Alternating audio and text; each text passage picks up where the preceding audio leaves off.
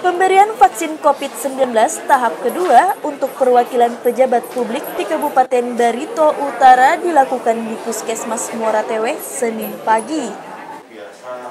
Vaksinasi tahap kedua diikuti 12 orang diawali oleh Dandim 1013 Muara Tewe, Letkol Rinaldi Irawan disusul Sekretaris Daerah Jaimur Abidin, Wakapolres Mas Harsono serta tokoh agama dan tokoh masyarakat.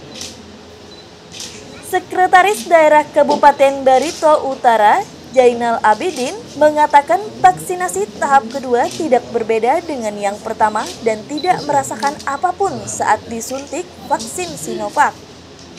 Sekda meminta seluruh masyarakat tidak takut dan mendukung program vaksinasi agar Indonesia bisa lebih sehat dan terhindar dari penularan virus corona.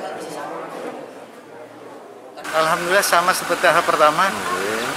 Belum ada rasa sesuatu apa pun. Seperti tahap pertama nggak ada gejala apa pun yang apa uh, yang merupakan efek gitu ya. Berarti tambah sehat ya Pak ya? Alhamdulillah sehat-sehat saja. Mudah-mudahan yang kedua ini tambah lebih sehat. Oh, ya. Amin. Jangan takut masyarakat. Ayo kita vaksin supaya kita lebih sehat dan negara kita lebih kuat. Cukup. Terima kasih Pak.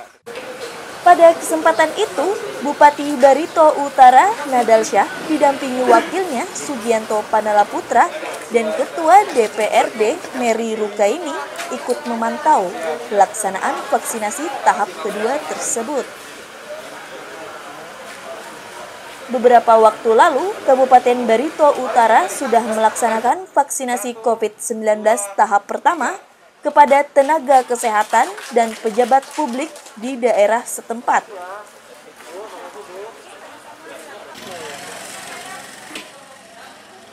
Tim Liputan Batara TV mengabarkan.